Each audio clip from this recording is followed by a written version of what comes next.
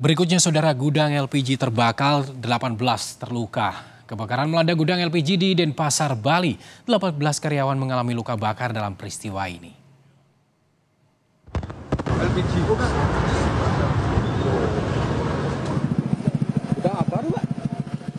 Gudang LPG di Denpasar, Bali kebakaran. Suara ledakan berulang kali terdengar, membuat warga yang berada di dekat lokasi panik. Warga yang berada di lokasi baru menyadari adanya kebakaran setelah melihat tiga orang korban berlari menyelamatkan diri keluar dari gudang yang terbakar. Kebakaran ini menyebabkan 18 orang karyawan mengalami luka bakar yang cukup parah sehingga terpaksa dilarikan ke rumah sakit.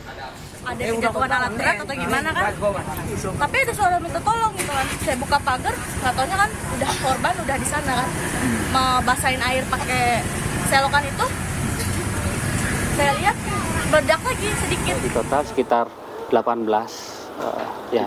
Itu luka ringan atau luka berat? Nah, kalau dari informasi warga yang menolong dan juga ada videonya tadi lumayan keras itu, Pak. Ya, lumayan parah luka bakarnya. Tadi saya konfirmasi sama ada pekerja, salah satu pekerja, dia bilang eh, semua yang bekerja di sini. Pasca kejadian, petugas Puslap Form Mabes Polri Denpasar langsung melakukan penyelidikan untuk mengetahui penyebab pasti kebakaran.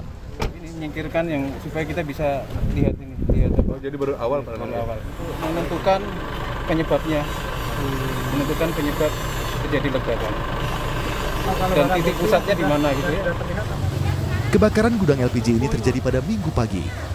Kini 18 pekerja yang alami luka bakar masih mendapat perawatan di sejumlah rumah sakit berbeda. Komang Suarbawa, Kompas TV, Denpasar, Bali.